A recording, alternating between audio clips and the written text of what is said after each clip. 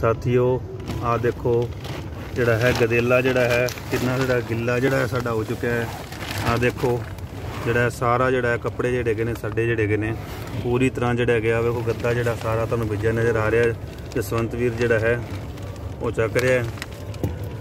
ਤੇ ਆ ਦੇਖ ਲਓ, ਸਾਰਾ ਜਿਹੜਾ ਹੈ, ਜਿਹੜਾ ਕੀ ਹੈ, ਗੱਦੇ ਥੱਲੋਂ ਜਿਹੜਾ ਹੈ, ਨਿਰਾ ਪਾਣੀ ਹੀ ਪਾਣੀ ਜਿਹੜਾ ਹੈ, ਹੋ ਚੁੱਕਿਆ ਹੈ।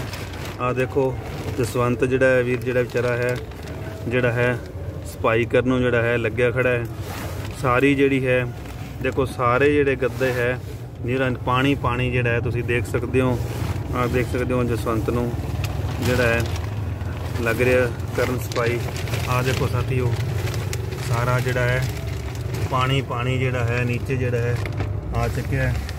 ਸਾਰੇ ਜਿਹੜੇ ਬਿਸਤਰ ਜਿਹੜੇ ਹੈਗੇ ਆ ਗਿੱਲੇ ਹੋ ਚੁੱਕੇ ਆ ਤਾਂ ਪੰਜਾਬ ਸਰਕਾਰ ਨੂੰ ਇਹ ਅਪੀਲ ਹੈ ਕਿ ਸਾਡੀਆਂ ਐਸਐਸਟੀ ਪੰਜਾਬੀ ਹਿੰਦੀ ਦੀਆਂ ਜਿਹੜੀਆਂ ਪੋਸਟਾਂ ਹੈ, ਜਲਦੀ ਤੋਂ ਜਲਦੀ ਜਿਹੜਾ ਹੈ, ਉਹ ਜਿਹੜਾ ਹੈ, ਜਾਰੀ ਕਰ ਦੇਵੇ।